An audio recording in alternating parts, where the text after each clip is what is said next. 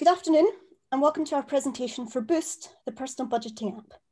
My name is Lorna and before I started at Makers and Compare the Market, I was working in social care, helping people at risk of homelessness. A recurring feature in people's lives was difficulty budgeting their income against their outgoings. Next slide, please.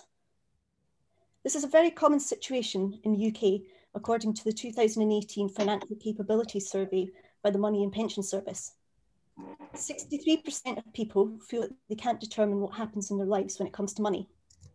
21% of people rarely or never save, while 17% often use a credit card, overdraft, or borrowing for food and bills.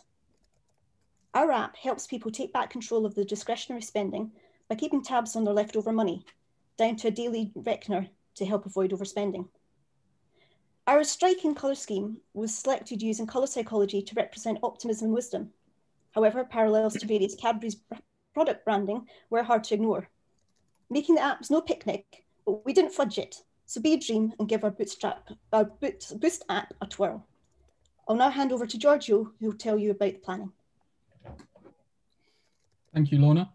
We knew that this project that this project would heavily rely on planning and organisation, as all good projects do. Therefore, we dedicated the first day of our sprint to planning. The advantages to this would be that our basic understanding of the app were mutual throughout the whole team and we had a clear perception of how our end product would look. We started by, decide on an, by deciding on a minimal viable product, which included the tracking of spend, spends, which involved create, read, update, and delete features, which would be communicated to our database via our web app.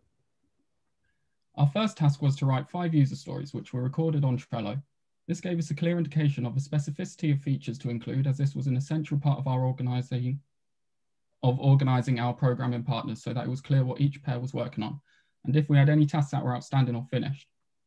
One of the features was we, unan we unanimously decided to leave out was our MVP and to of our MVP and include it later in our nice to have features. This was the ability to sign up and log in. This is due to the fact that it didn't affect how the app functions and it as it wasn't a necessity in terms of minimal features and would only add complexity when building the core technology of the app. Following from writing our user stories, we diagrammed the UI in Balsamiq, which gave us the same level of visual understanding. A pivotal part of our organization was using the agile technique of planning poker to decide the complexity of each task. We set up a project wiki to document the project as well as dev diaries and Miro boards for our retros. We mobbed the initial setup together. This was so that we all had the same starting point with GitHub repos and tools. This also helped everyone fully understand the starting point of the app development, and we were very conscious of meeting regularly to, re to review and merge pull requests, which made the process much smoother when implementing features. I'll now pass you over to Christoph, who will talk about the tech. Thank you, Georgia. And so, yes, I'd like to talk to you all about the tech we've used and specifically about the tech stack and how we've applied it. So the tech stack we chose was MERN, which stands for MongoDB, Express, JavaScript, React, JavaScript, and Node.js. And so on the next slide, I'm going to show you how that links into what we actually deployed. So we've used MongoDB to create our database and we've used Node.js to create our backend AP, backend app on top of which the Express.js helped us to create API endpoints. And then as a separate standing app, we've created our front end with React.js. Mm-hmm. On the next slide, I'm gonna be talking about some additional tools, as for example, we've used bcrypt to hash all the user sensitive information so that we have that extra layer, layer of security on our database. And then, next slide, please why we actually chose MERN. Well, we had some exposure to this, at least in on an infant with an infancy level of entry. And so we felt like we want to give it a go. We want to get better with it. We also thought it would be a great idea to explore it because all of us will be touching upon it in our play on our placement. And at the end of the day, MERN gave us ability to work within a full stack environment, which allowed us to gain, gain a broader perspective on the entire on, on, on how the development process works. With that, there came so advantages and disadvantages. It was certainly good for us to have it with MERN as it allowed to separate the concerns, especially with the backend app and a frontend app. Then it also helped us to keep consistency within the language as the core language of all of them is just JavaScript And then it was also a bit easier to maintain things as every bit was kept in a nice and autonomous piece. Then as for disadvantages, there were a couple. We've added some complexity as because our, our, our, our database was kept in a cloud and none of us ever did that before, but it actually runs smoothly. We had to have some additional steps in deployment as we wanted to deploy each deploy it piece by piece. And at the end of the day, we also are aware that we have not have a chance to use all the industry standard software tools, like for example, Redux or Swagger. Now, I would like to hand it over to Ben, who's gonna talk to you about some of the challenges we've encountered. Hi, uh, I'm going to talk about um, some of the technical challenges uh, that we faced while creating the project. Um, I have to say that in general, we didn't face many challenges. Uh, and when we did, we were able to come together as a team um, and resolve them. So uh, first one being test-driven development, um, which we all know we need to do. Um, we could have done more TDD, um, but we tried to force some TDD in the early stages that actually ended up causing us uh, confusion and cost us some time. Uh, we've been very confident using the TDD approach in Ruby, uh, but had to think differently when testing things like Jest and Cypress. Um, so another one thing was um, we wanted from the very beginning to take into account responsive design. Um, and we knew that we wanted our app to be used on multiple size screens. Uh, but obviously none of us are here because we're UI um, or UX experts. So we had an additional challenge uh, to also come up with the designs themselves. Um, and here we just wanted to call out the sheer number of new concepts that we had to pick up um, and run with during this project. Um, just when we'd sort of started getting comfortable with Ruby, Ruby's linear way of working, uh, we had to contend with asynchronous things like promises in JavaScript. Uh, React was also new to us. We had to learn about things like props and state. Uh, and finally, we had some fun and games uh, with CORS, uh, as our app relies heavily on obviously front and back end components talking seamlessly to each other. Um, uh, and that was fun. So I'm going to hand over to Melissa, who's going to actually demo the product. Thank you, Ben. Um, so this is our product. Um, it's obviously our finance page. This is the home page. Um, and as you can see, if we try and go onto any of the other tabs, we have to be signed in.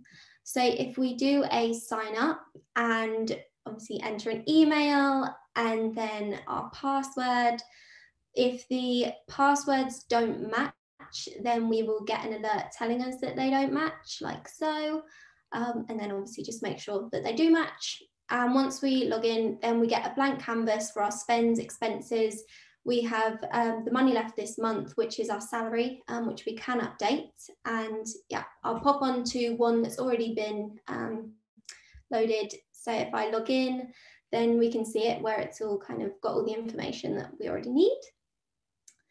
Uh, so in doing this, obviously you can see it's all populated. We can go to our regular expenses and we've got our list there. We can add an expense like so um, and add a category, which it may be under, pop the cost in, and then it will be added to the list. And then this is where we can update our monthly income. Um, you know, high hopes here for £5,000 a month. Um, and then that is all reflected back at the home screen here. Um, and we can go into our expenses, we can update them, we can change anything and we can also delete them and then they will disappear and this is all reflected in the overall amounts um, that are shown for the totals. Again, we have it for spends. Uh, we can add a spend. Um, when we add them, it has to be within the month that we are in. Um, this is due to the archive that I'll go into in a moment. Um, and yeah, so then we can just add these and again, it will get added to the list that we already have. Um, we can go in, we can update them, we can delete them, um, and it will again be reflected. In the archive, we can go into a different month and we can see where we've spent and what categories. And this is just done month by month in a nice bar chart. And then if we go back to the home page, we can just see our overall um, totals, money left this month, money left per day, and there's the roundup. And now I will pass on to Heather, who will do our retro. Hello. Yeah, so I'm just go- basically just going to do a little sort of retro of the project. So um, if you can click for me a few times, thank you. So yeah, so I'm here to conclude. So under each um, photo we've got here, we've got a little sort of bullet point list of our sort of wins, our challenges, and our future plans. So the team and I feel we worked extremely proactively on this. Um, our MVP was done in a, a, few days with the original idea, and that was thanks to planning sprints and obviously our development as coders. So, as a little insight to the development of our code, we've brainstormed some extra features we'd love to implement, such as a welcome message, a barcode scanner, receipt scanner, and many more. So, yeah, that's pretty much it. So, overall, uh, Boost Finance has been a great way for us to finish our journey with makers. So, hope you enjoyed it. Cool. Thank you so much. Uh, lovely, lovely presentation. Please uh, emote, emote to your to your heart's content. Emote as much as you possibly can, more than you've ever emoted before, with those little reactions, whether they be party poppers or hands or hearts or anything you like. Really, go for it. Cool. Thanks. Nice work. Okay, um, now the next team is going to be introduced by Stefan. Over to you, Stefan. Hello. Um, good to see you all. Um, so the next team, well, what can I say? Um, it's been a tricky time recently with coronavirus this year, and this team have found a way to take out your frustrations and get your revenge on the evil virus. Um, they built an app using C Sharp and Unity. Um, so here I am to uh, introduce the Unity team.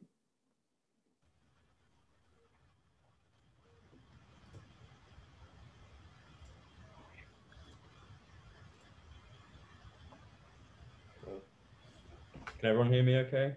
Yeah. Um, so we've built a game called Rona Tower Defense. Um, it was developed by me, Jack, Sweezel, and Christian. Next slide, please.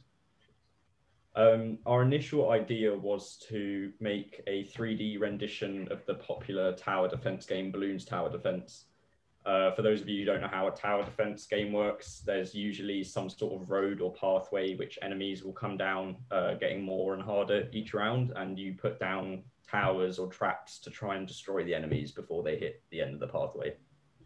Um, the main idea behind the uh, Tower Defense copy was that none of our team had that much 3D modeling skills, and balloons are quite easy to make. Um, probably one of the easiest shapes in the world side. And then after a bit of discussion, um, we concluded that balloons are really, really boring. And quite frankly, there's a similarly spherical shaped object which is far more relevant. And that's where we got the idea to include a coronavirus. Right, so um, we had a range of towers that we designed to make them more relevant to our idea. So the first one is a pill turret, which shoots pills to cause damage. Um, then we have a vaccine launcher, which shoots exploding syringes. We also have a temperature reader, which is sort of a laser which slows the little Ronas down. Um, then we have the sanitizer lady. She looks slightly demonic, but we move. Um, she sprays um, hand sanitizer to do damage to the Ronas over time. And then our the best we've got is the plague doctor, and he throws exploding potions um, at the Ronas. So the towers, we uh, not the towers, the enemies, we have a variety of them, um, and they all have different properties. So like the speed they move at, the health points, sort of reflects the different strains of Rona. Personally, really like the pink one because I designed it myself. You know. Um, and then lastly, we have the boss, which he is really difficult to defeat. He's probably the reason we're still in lockdown. Um, and you will encounter him in the last and final round if you make it to the final round. Cool. So I'm just gonna uh, speak, talk about um, well overall our gameplay. Uh, so as you can see, you can pick from a number of uh, different uh, weapons, uh, and each weapon has a range. Uh, the range varies depending on which weapon you pick, and also the damage increases or decreases on, you know, depending on which uh, weapon you have. Uh, once you do gain enough funds, uh, you can also upgrade each uh, weapon, uh, as you can see here. And you can also, you also have the option of adding more weapons to aid you throughout each round. We also do have some background music playing um, and for both of the levels. And um, each enemy also uh, follows a number of waypoints. So the waypoints are pretty much kind of reference points for the COVID to follow. So they're laid out throughout the map and that's what we've laid out from the beginning point all the way to the hospital right at the end so that they can follow them, follow the path neat, neatly. And yeah, as you can see, the, the enemies also have speed and uh, varying speed, lives and uh, damage. I will pass this on to uh, on to Jack. Thank you, Christian.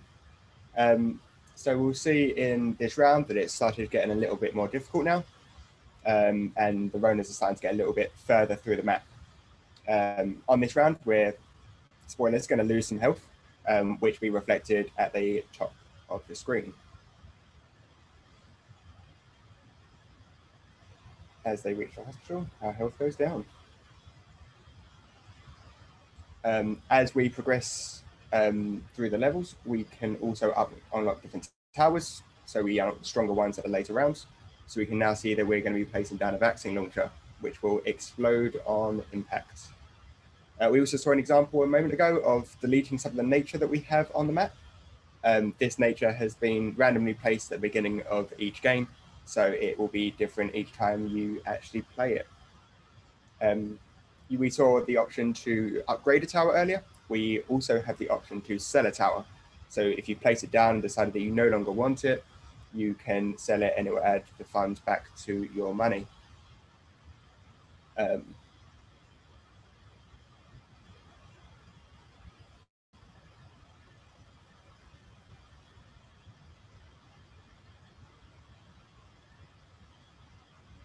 So now we'll be able to place down the last tower that we've designed, which will be the Plague Doctor, which has been animated to actually throw the potions when the Ronas actually pass his range. We can see an example of destroying the nature and upgrading again. So we decided not to put down too many towers for this round, um, just so you can actually get an idea about what would happen with the game over screen um, just to make sure that we didn't have to go through all of the rounds to show you how to actually win the game.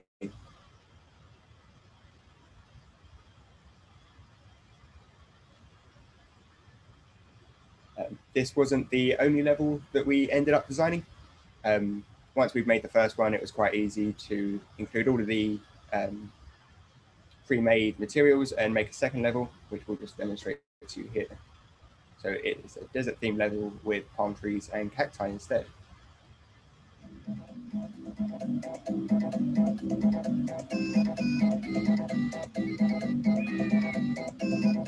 And I will now pass back over to Dan.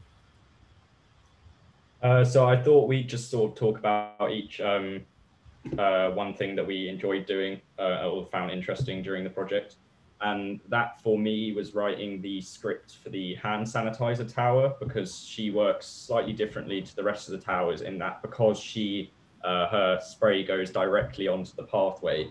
Um, we had to make sure that when the player placed her, she was next to a road and also facing the direction of the nearest road. Um, and to do that involved a little concept called ray casting, which allowed me to sort of shoot an invisible ray in each of the four directions and figure out one, whether there was a road within her range, and two, which direction I needed to turn and face her so that she was facing the pathway.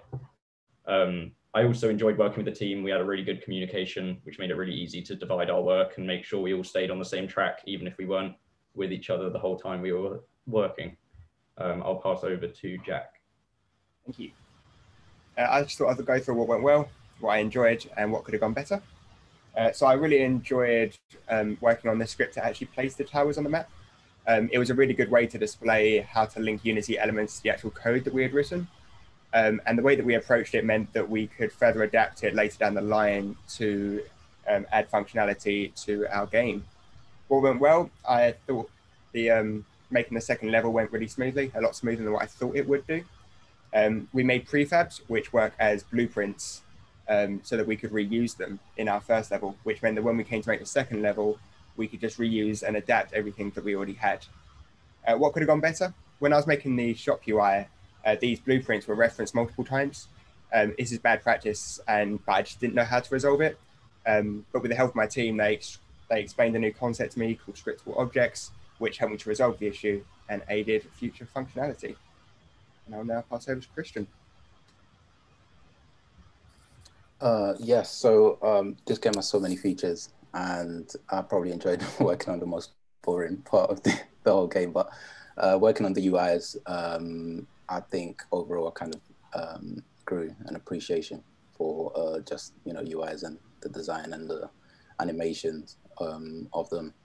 And um, yeah, I found that a little bit time consuming at first, but then after that, I was able to create a um, template that I could reuse for the different levels.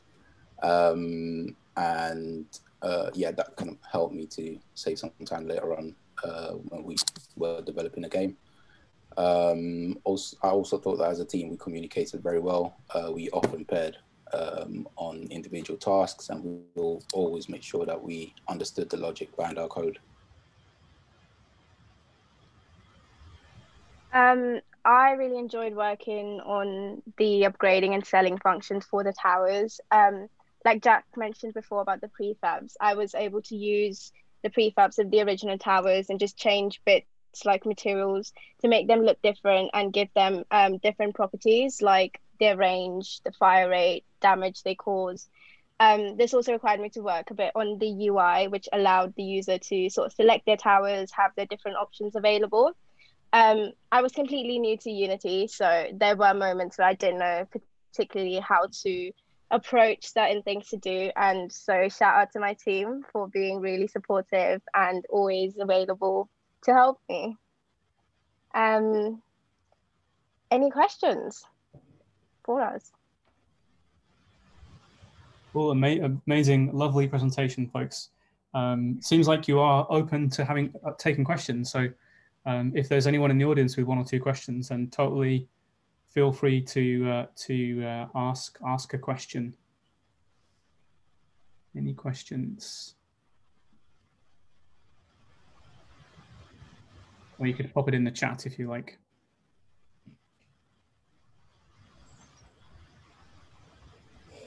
Are you all? Are you all? Is cohort okay to ask questions? What's that? Sorry. Is any of the cohort okay to ask yeah, questions? Sure, go well? ahead. Yeah, if you want to. Um, so my question for the team would be, what was the most difficult thing to overcome during this two-week project? Nice question. Uh, for me, it was inexperience with actually using the programs. So, as Sweezel said, I was also new to Unity. I was new to learning C Sharp. Um, so, it's quite a learning curve to go from no experience to actually being able to make the app work the way that it does. Um, but I really feel like that was drawing on the experience of learning previous languages, like what, the way we learned Ruby and our brief experience with Swift as well, really aided in being able to learn quickly and efficiently. Cool. Any other questions? We can probably do one more if someone has another one. If not, we'll move on to the next team. Cool. All right. Um, please, please do some do some emoting and show them some appreciation. Thanks, folks. Um, okay, so um, the next team is going to be introduced by Leo again. Back to Leo. Thanks, Eddie. So at Makers, we like to ask developers to do pair programming because it's better to learn and it's always more fun to code together than to be alone in front of your screen doing some coding. And I guess the next team was a bit more ambitious than that. They kind of ask themselves, why just limit ourselves to the makers community when we could, you know, pair programming with people all around the world and build things all together? Uh, and so now I'm gonna leave them to present their pairing app projects.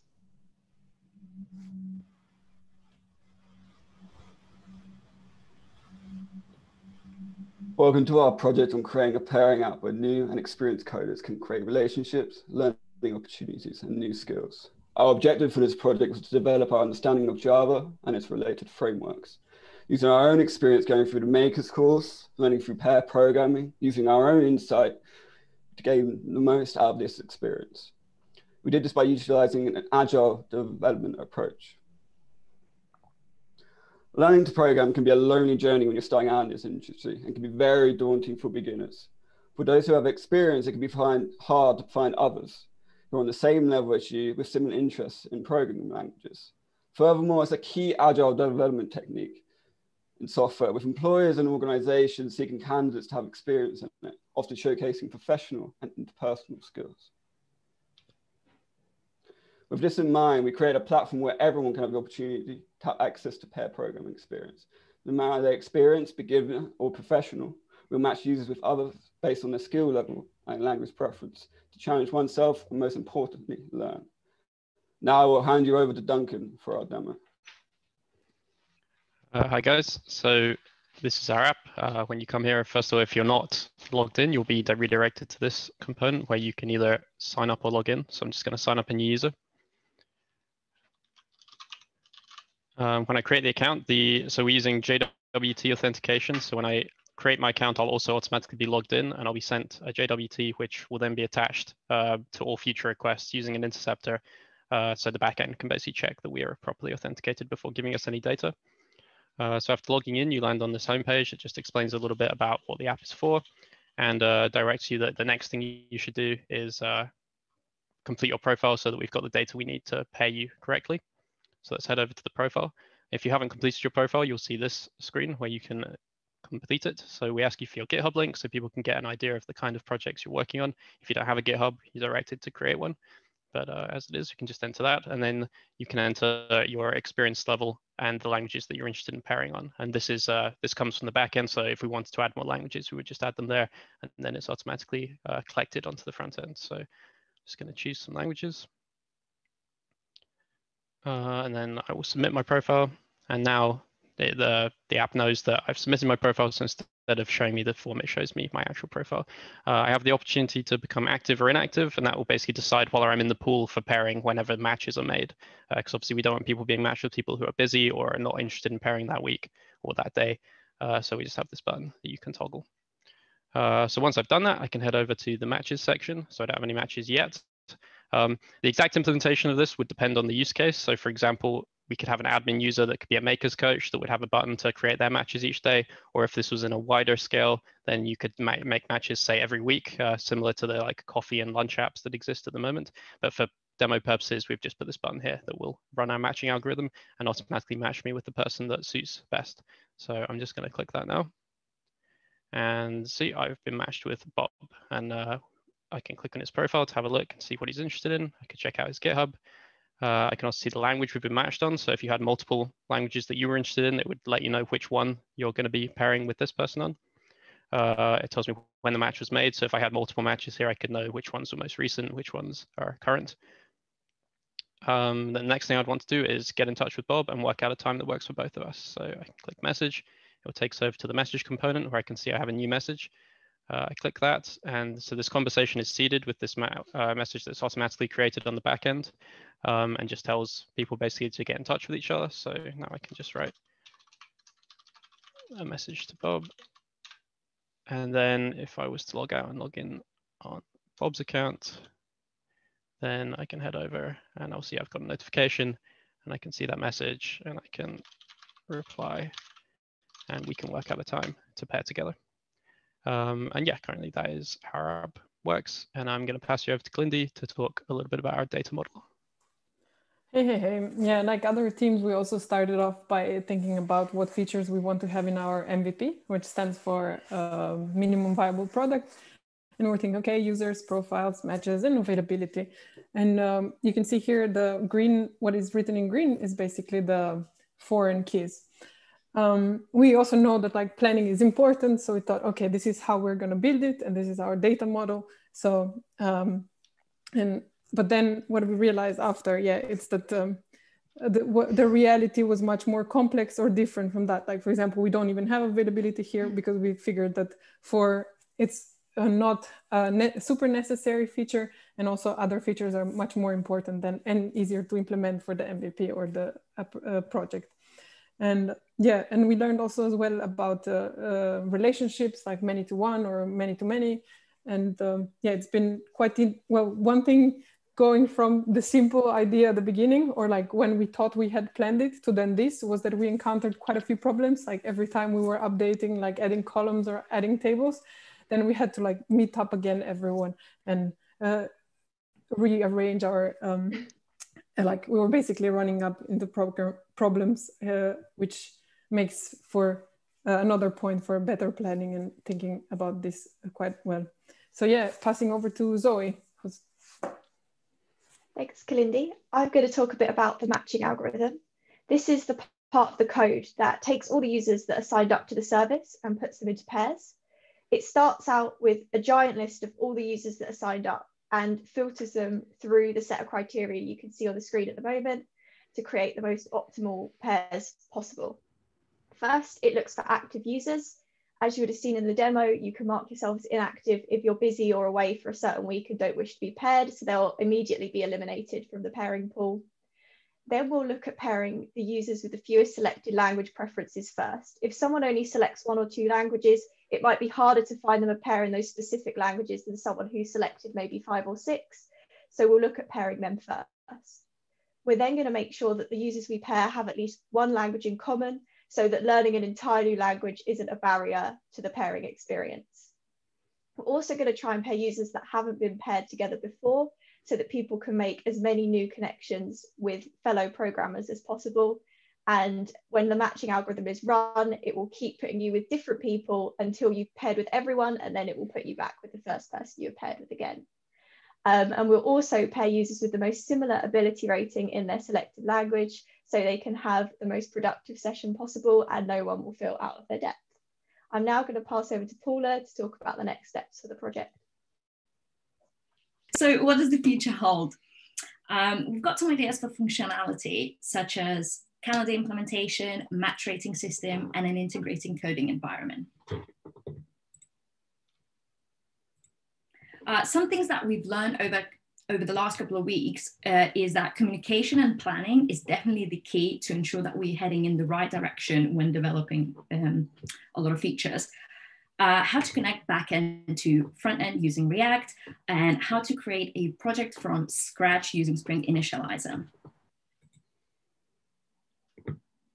Thank you so much for your time. We hope you really enjoyed our work. We'd love to hear your thoughts now. Have you got any questions or feedback for us?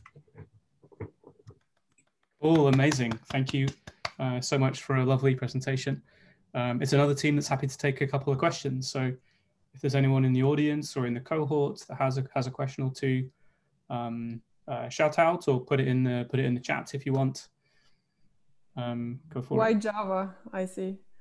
Um, we wanted to work on the uh, language we will use in our placements, so it was quite hard to start, but now we're slowly getting into it.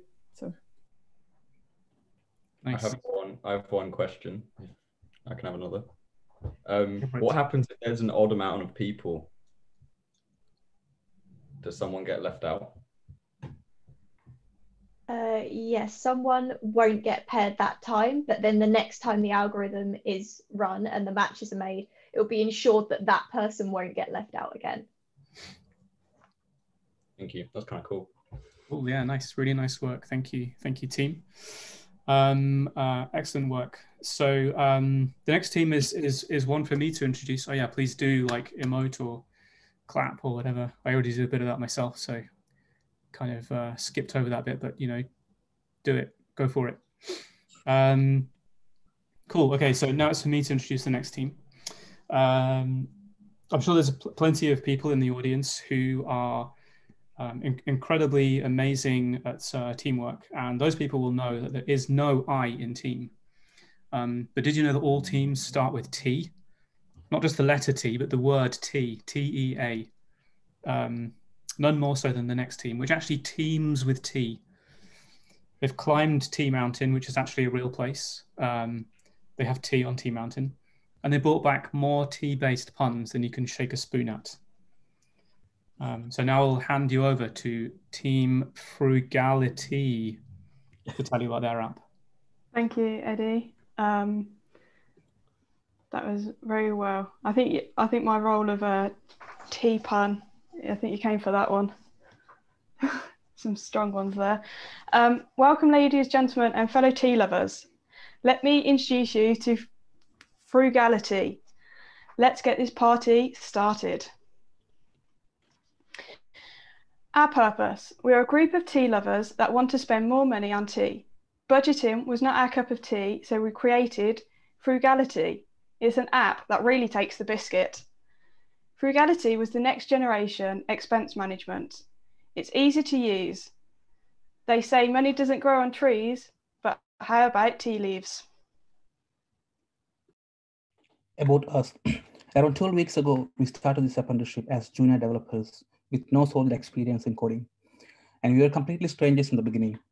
Uh, and we got to know each other and we shared our knowledge and we learned together th throughout the journey.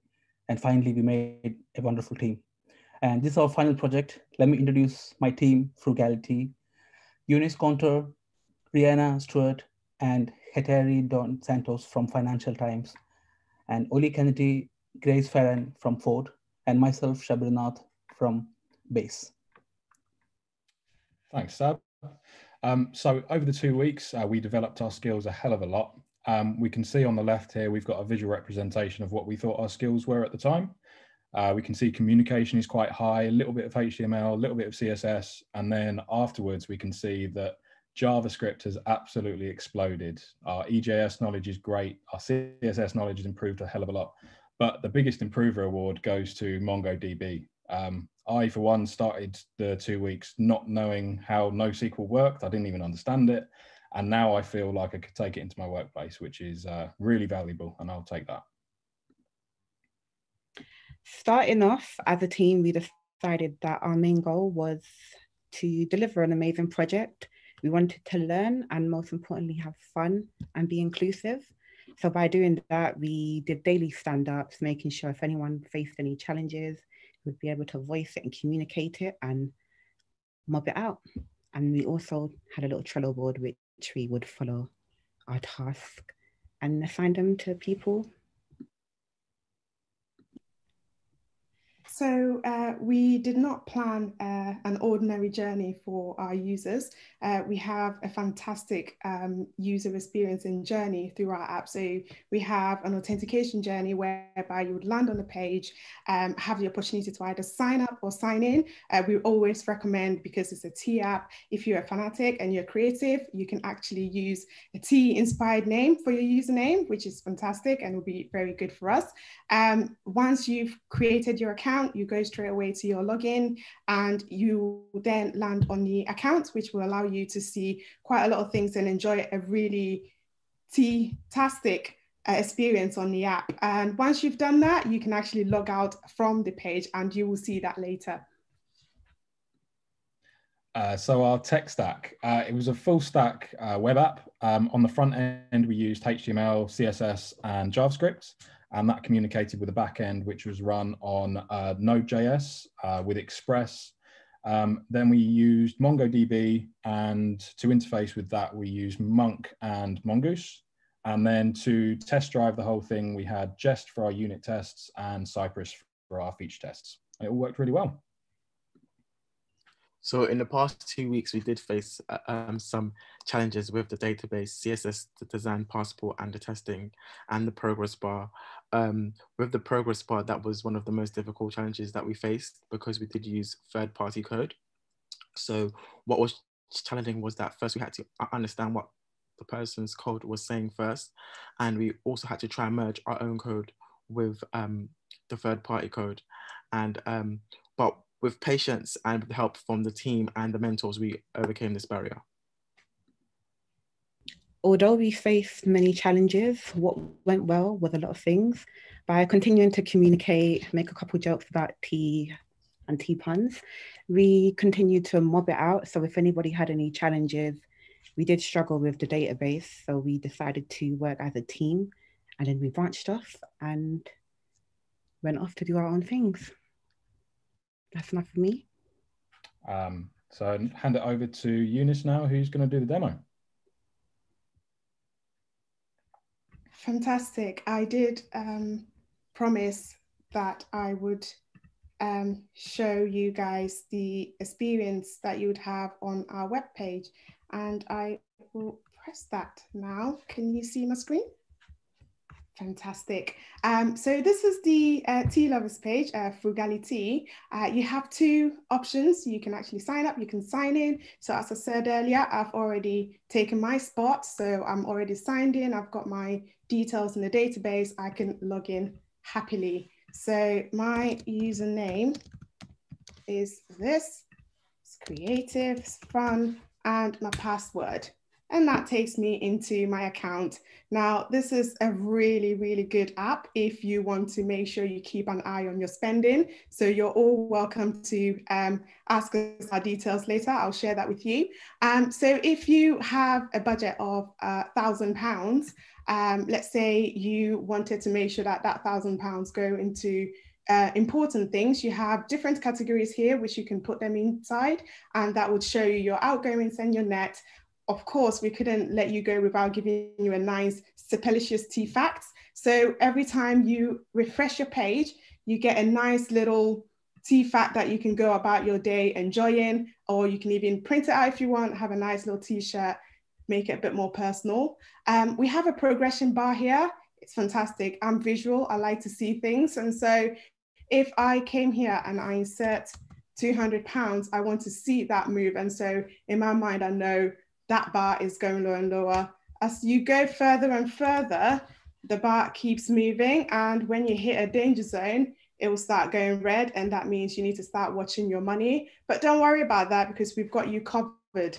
Um, inside the page, we do have a nav bar, which gives you other categories. We didn't want to present you just one page, we wanted to give you a full user experience. And so you have a transactions page.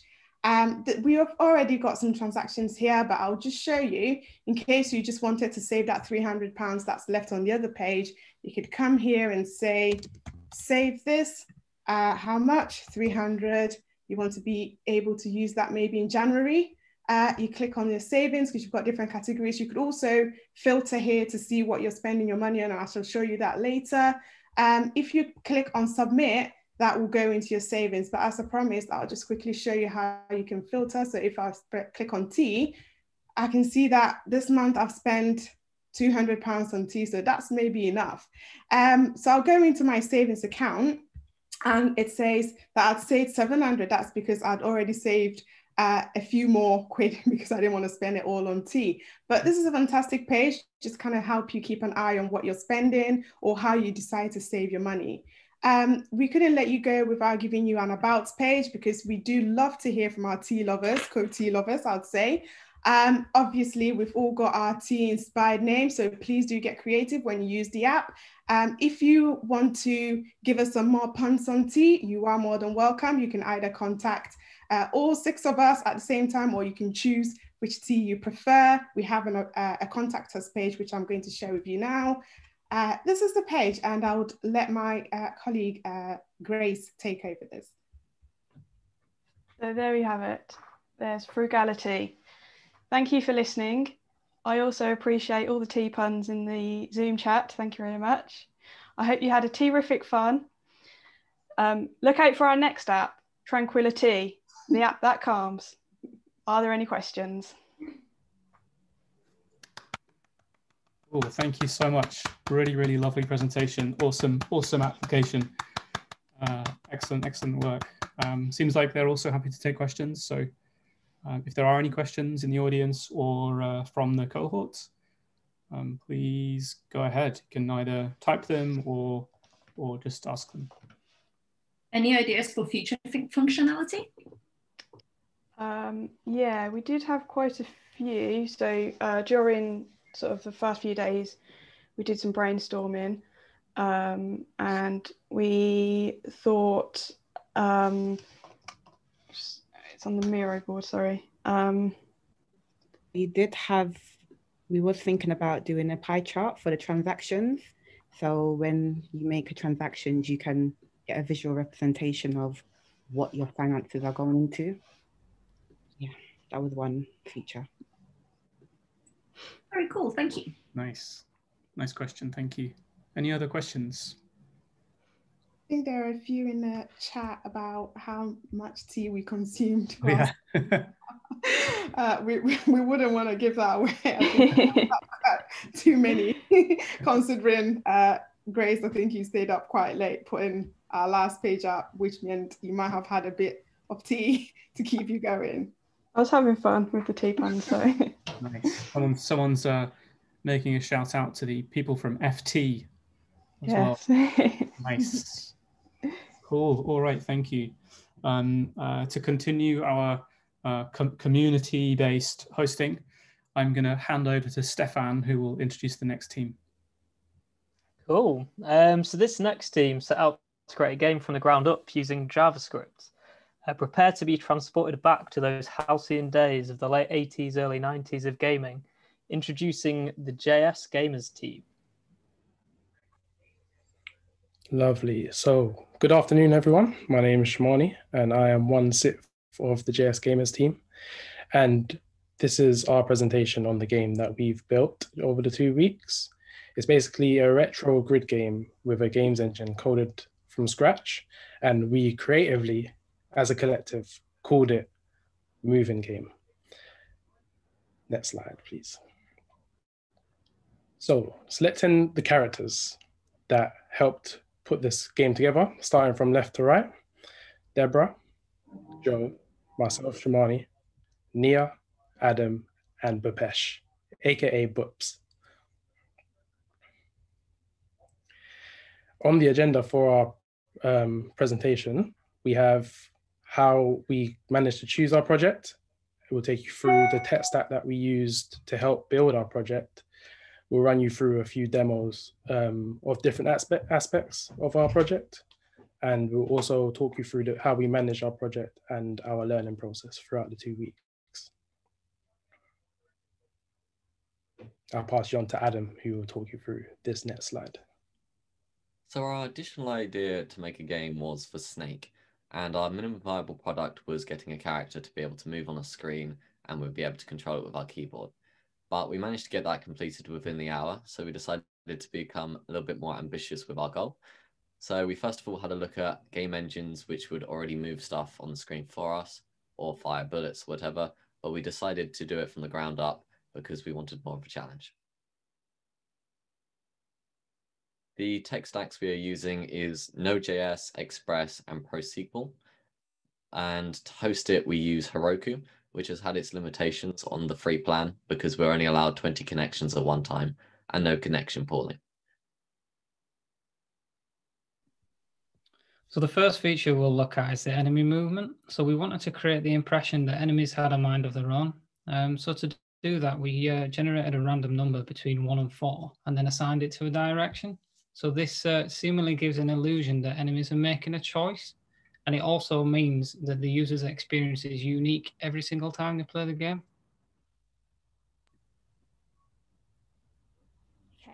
For the bullet function, me and Shimani paired together, and very quickly we realized that this was going to be a, a, complex task.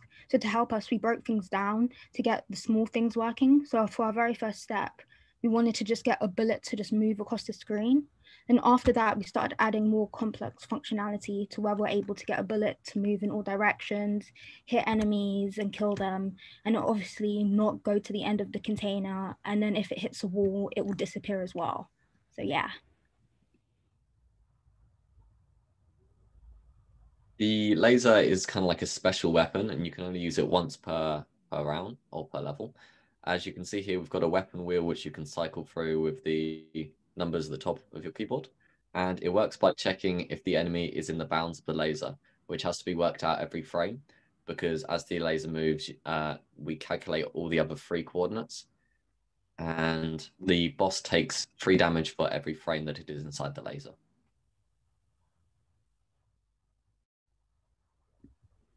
So another key feature throughout the game involves impact and reaction. Um, so we wanted to create the impression that we have physical boundaries and incorporate real world physics. Um, so such as bullets disappearing on impact, um, objects are picked up and used by the player. And uh, we've also got solid ob objects such as doors and walls that can't be walked through.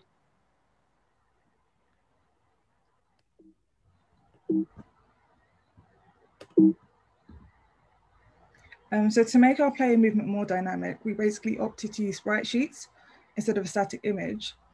So this meant we were able to achieve it by using CSS keyframes, which would essentially cycle through a row of images at a specified speed, creating an animation, which would simulate the movement in different directions. We then assigned all these animations to a CSS class and referenced it in our player movement function, corresponding to the relevant arrow keys. And we also use it for our teleporter machine, which you can see in the left-hand corner. Cool, thanks, Deborah. Um, so I'm going to brief, briefly discuss um, how we managed our project effectively to um, create our amazing moving game. Uh, so one of the first things we did was to create a Trello board. Um, so this enabled us to track and prioritize the tasks um, to complete for our minimum viable product. So that included things like getting the character to be able to move around the grid um, and spawning enemies. Um, and then we also created a list of the nice to have stuff. So that included things like designing different levels, um, implementing sounds and uh, special effects and being able to pick up different weapons, um, which we could then work on once the basic functionality was in place. Um, every morning we had um, a stand up and we had afternoon stand downs and we used these sessions to allocate and reprioritize our Trello tasks um, and discuss the progress um, against these tasks at the end of the day. But we also use this time to share our learnings, uh, review each other's code, and also discuss any blockers that we were having and how we could overcome them. In terms of how we worked together on tasks, um, we initially did a lot of mobbing. So we all got together as a team to decide on the type of game that we want to work on, the functionality it should have, and the basic game design. Um, and then we did a lot of pairing throughout most of the Trello cards um, or worked in threes. Um, this meant that we could work on um, a number of different uh, tasks in the day and um, move at a steady pace. And finally, we also got to do a lot of individual work towards the end. So once we had the modular setup done, um, we all actually individually designed each level. So if you haven't had the chance yet, please do click on the link in the chat and you'll get to, um, if you do eventually get to the boss, you'll get to see all of our individually designed levels as well.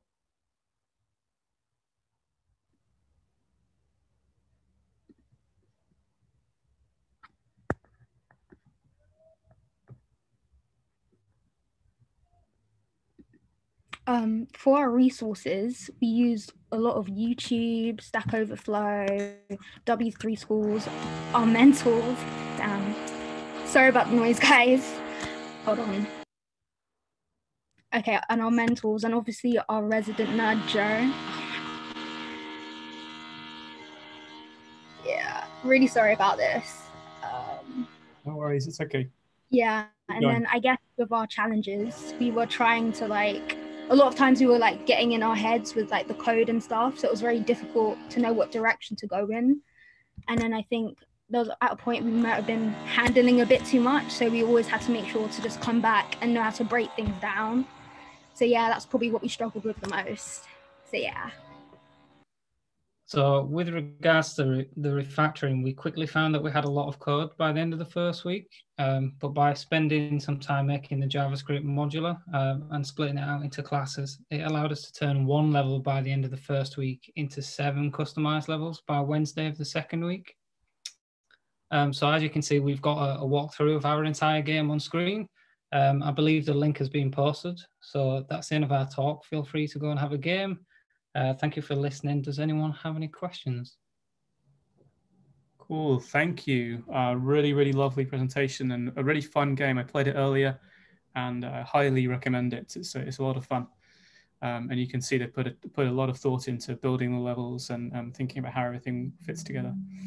Um, the team is happy to help take questions. So if anybody has a question, uh, again, put it in this, put it in the chat or just uh, shout it out. Any questions? I really like the um, artwork at the beginning of all of you guys. Um, so who created that or where did you find them? Because I think that was really cool. You mean on the presentation? Yeah. Uh, uh, Deborah, do you know where that's from? That was a link you found, I think. Do you mean in this presentation? Yeah. Um, I think it was just. Do you mean like the avatars?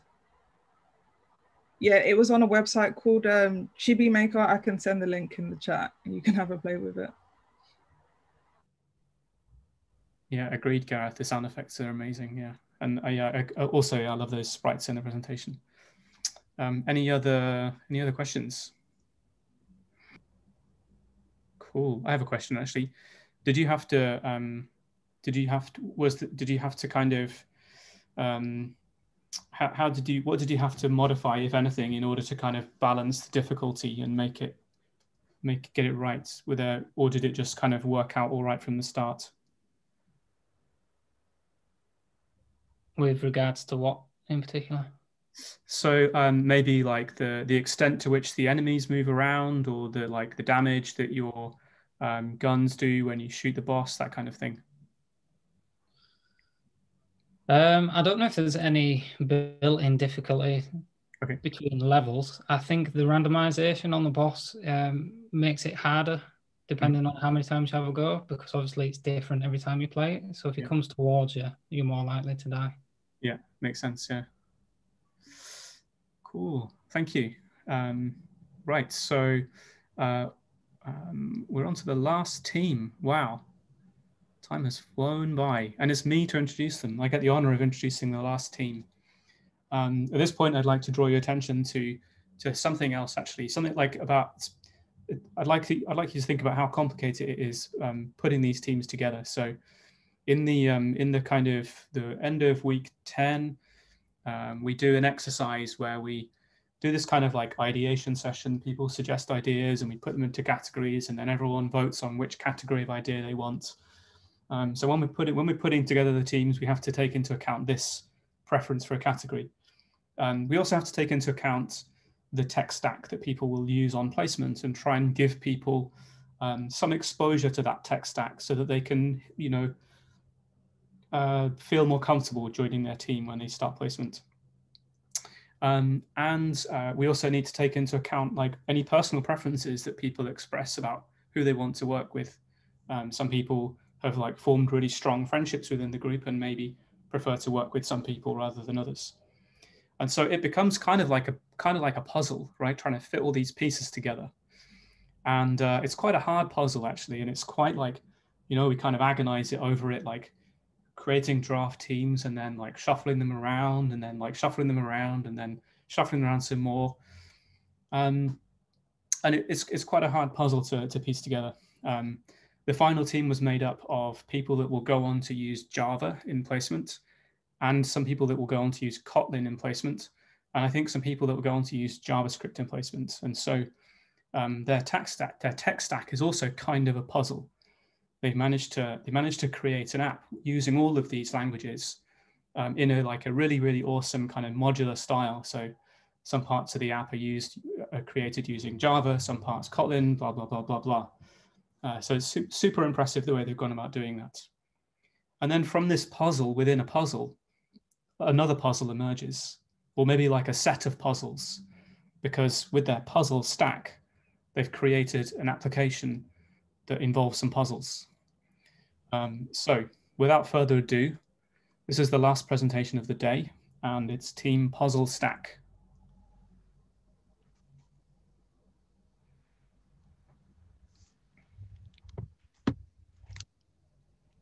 Well, welcome everybody to our game, the um, the Last Escape. It's an interactive escape room game.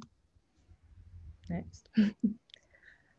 um, so you're going to be locked in a whilst locked in a strange room. You are constantly challenged to observe, think, guess, and infer until you escape.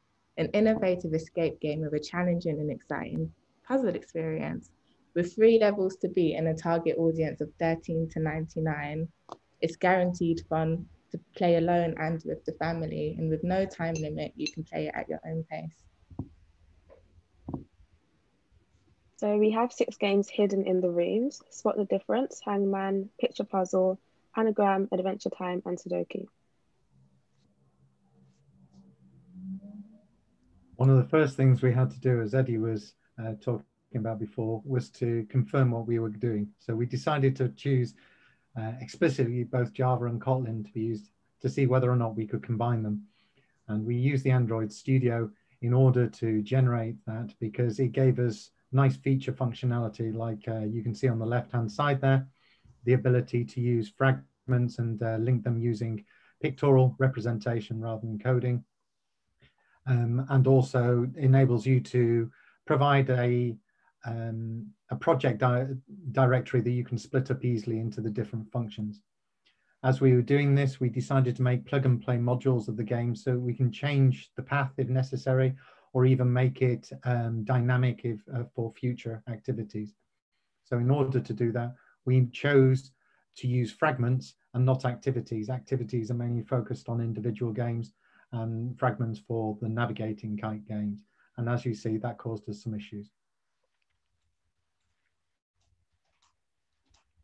Sudoku puzzle was uh, tutorial initiated. Having never done it before, we decided to, um, for the majority of us, to work from a tutorial to gain experience and actually get our hands onto the coding and start working immediately. Um, the one that I chose, unfortunately, finished 75% of the way through the completion of the game, um, and with the last one ending with a tornado warning. So I hope the guy's all right. Um, but it did mean that I had to work on 25% of the, the game, which um, I think was probably a good thing in the end. Um, it was activity. We moved it to my uh, fragment, and loads of people are going to talk about that. I like the way that it produced an isolated um, uh, type of game, so you could keep the different elements separate, uh, like the view, the game, and the back-end view model to enable you to segment things easily and maybe use different technologies or other requirements as things change. Has some lovely features in it, um, like the error detection, etc. You can see that all there. And it had a scale game board based on the display device because we tested on tablets and phones. As I said before, the IDE really helped out in the um, production of the code and the maintenance and also the ability to integrate the different games and the languages um, enabled you to isolate things very easily on the left hand side and you've got the fragment pieces down below. It's all coding, it's all rubbish. Wait until you see the game, it's much better. So for the spot the difference game, um, I basically had to ensure that the on-click listeners were linked to both images. So that no matter what you clicked on either image, it would be highlighted on both images, and then um, it would only be counted as one um, selection.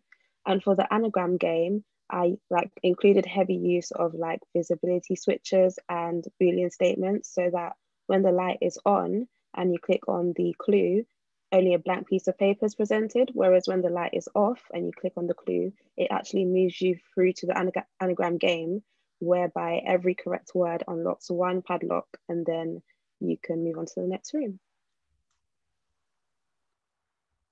So for my game, I created a Kotlin adventure-based text game. I'm not a massive gamer, so I definitely found it beneficial to follow a guideline that kind of concentrated on the game logic, which then allowed me to, you know, focus on building my current skills and learning new ones. Um, as my game was multi-dimensional, it required me integrating both the activities and the fragments together, which proved to be proved to be very, very challenging, but very rewarding. Like at the end, I also created um, an animated splash screen, which my whole team knows I'm quite obsessed with, in Java, which in Java, which allowed me to just build on my understanding and apply the knowledge that I'd learned from making my game to integrate all the files. Next. so for my part of the escape room, I decided to make a picture puzzle um, the aim of the puzzle is literally just you, you're faced with a, a scrambled picture and you want to uns unscramble it um, to get a clue to the anagram in Esther's room. Um, if you try to swipe off the screen, it will let you know that that's an invalid move. You can't do that. Um, so some of the main challenges that I faced during this is there's a lot of outdated tutorials out there and some are like, you, you think it's only two years old, but no, like it's it, it doesn't work anymore and you have to kind of have to troubleshoot and find out what like approach to take. Um, and one of the biggest challenges I think which all of us faced was converting our activities to fragments, um, which I think you'll find out a bit more about in the demo as well. Cool, right, this is my part. This is the Hangman game. Uh, if you don't know what Hangman is, then I don't know where you've been, but uh, it's pretty much you guess the word, and if you don't guess it in time, someone gets hung. Um, so one of my biggest difficulties was converting the activity to a fragment, which I think our whole team kind of had an issue with. Um, especially in Java, because obviously you followed kind of the Kotlin way of converting it, but in Java it's kind of it, it was a bit harder to find, so we ended up kind of coming together to uh, to get past that. Uh, on the right, you can see when you get the word right, I've got a congratulation message, and when you get it wrong, there is a try again uh, pop up that you have to uh, obviously do all three stages again. Um, so let's look.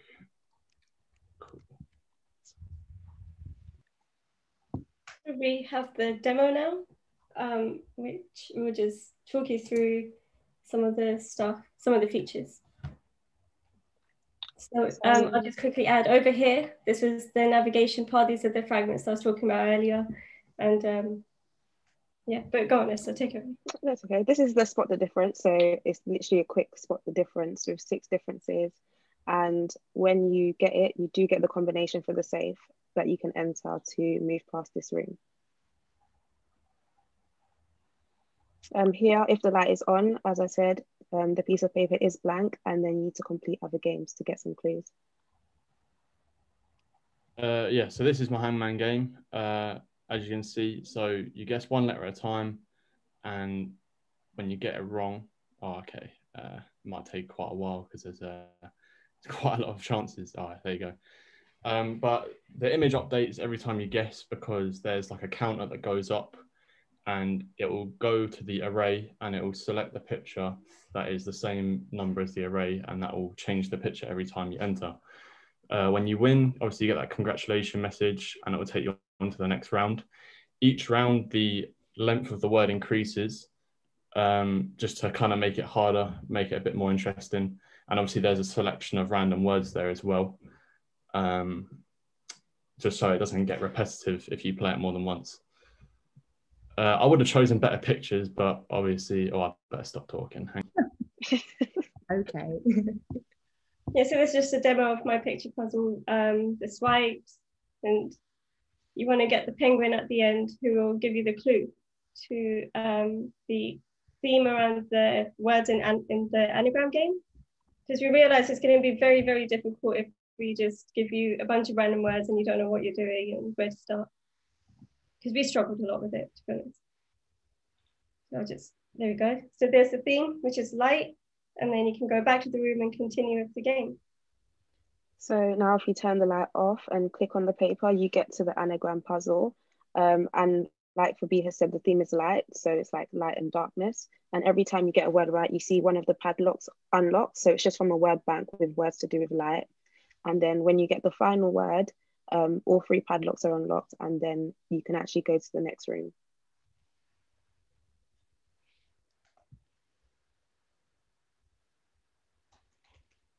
This is where you can see my adventure game.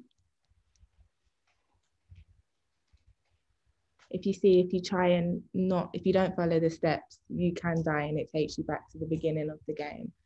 So there is, I guess, steps you have to take in order to become powerful enough to, you know, get through all the stages and make it back, you know, to escape, escape this part of the escape room. Sudoku is a standard Sudoku one. Um, you can put it in, if you put a uh, wrong number in, it shows you where you conflict. So you know that it's wrong number. It does enable you to put notes in. And so you can put in, uh, you can't really see on that size, but uh, small numbers to indicate um, the, the opportunities you think it is. And considering the number of times that I had to run this in order to do it, I've now memorized all those number and I sometimes wake up in the morning counting them. Once it completes, um, it gives you a button like so to continue on the game. You've escaped. The play again button just takes you back to the beginning of the game. And eventually it will take you, you know, to higher levels and new games. Any questions? Cool. Thank you so much, uh, team. Really, really impressive application and a really lovely presentation too. Um, again, uh, if there's any questions from the audience or from the cohort, please go ahead and ask them. in terms of your learning journey, if you had to do it um, over again, what would you do differently? Um, definitely start making it as fragments initially rather than trying to convert it after, I would say. Definitely. Uh, it would uh, having it done from the beginning in fragments would have made it a lot easier, and I think it would have made it more dynamic as well. We found out afterwards that if we um, use fragments right from the beginning and the fragment manager that's built into it, we could have maintained the game state and made it a lot more dynamic between the puzzles. Cool. Uh, Reese is asking about how you tested it. Did you do some testing? What a lovely question, Reese. Yeah.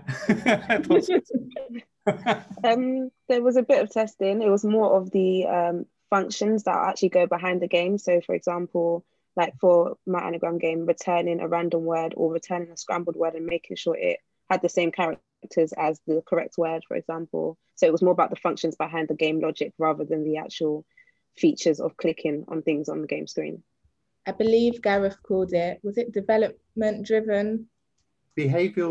That's it, behavioral driven development. As you can tell by the way that we know the game so well, etc., we have had to repeatedly test it. Virtually every line of code change, etc., always drove us to change the game so that uh, to actually run the game so that we could see the actual user behavior function that's what that's what our testing was based on. I've just seen a question that says Java or Kotlin. I think I may be a bit biased and say Kotlin. I second that. yeah. Java is a great language, but I think because Kotlin is newer, it just takes everything Java has and it incorporates like new functions, methods, makes everything a bit quicker, nicer to code with. You know, we don't hate Java. We just we just like the new and improved Kotlin a bit better. Yes, we do, Paris. Yes. we definitely do. Nice. All right. Thank you, team. Uh, please give them uh, a, a, round of reactions with your little emoti emoticons and whatnot, and clap your hands, stamp your feet, uh, all that all that kind of good stuff. Wave your hands in the air. Cool. Thank you, folks. Um, so that was our final presentation, but I'd like to give uh, one more round of appreciations to the whole cohort who've done a really, really stunning job today, um, but also to Stefan and Leo who have uh, put in some really excellent work supporting the cohort over the last five weeks or so with uh, with me. So I was I was I've been with them for the whole 12 weeks, but Stefan and Leo are sort of newer additions to the team. So I'd like to I'd like to particularly appreciate them. So thank you, uh, thank you everyone uh, really, really, uh, really, really well done. Uh, really awesome working with you. I think we should thank the coaches as well. I know we didn't we didn't always make it easy for them, and they, you know, they always tried their best. So it's been a good experience. Thank, thank you. you. Thank you, Paris. I appreciate that. That's very thoughtful of you. um, um, yeah, it's been been really, really amazing working working with you all as a as a cohort. Um, I'm I'm sure that like everyone is blown away by seeing what you've done. Um, and uh, I guess I would just like to, to highlight something that is, although although there's a lot of a lot of we do cover kind of a lot of stuff explicitly at Makers. Um, there's a whole ton of stuff that has gone into these applications that we haven't covered explicitly.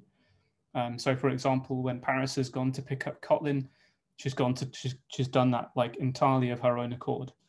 Um, people using Unity have picked up that of their own accord. There was people using the Mern stack they picked up Mongo like completely on their own. And so, and that goes basically for like everyone in all of the teams. They've all, they've all kind of got to the point now where they can, they can be like, okay, I want to learn this new thing, and they go away and do it. Um, and that's super, super impressive. So, if you now kind of think back to the things they've done and take that into account, it's even more mind blowing.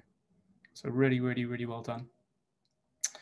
Um, cool well, I think that's that's basically it. I, I really look forward to seeing what these people go on and do now after the boot camp, and um, I hope that you'll you'll keep in touch. It's been given the given the the, the pandemic, it's uh, it's been a fully remote cohort, so um, we've not met each other in person, but I hope that we will meet each other in person one day. Um, I will I will look forward to to doing that. Um, hopefully, we'll be back on site sometime next year and you'll be able to come in to, to Makers HQ, play a game of table tennis with me, um, and do your knowledge module or something exciting like that. Um, so I look forward to that. And of course, um, I really, I really want to thank all of the guests that have come along today. Thank you everyone who came along. Uh, in, in, thank you everyone for coming along. Um, and uh, I hope that we will see you at the next demo day. Thank you.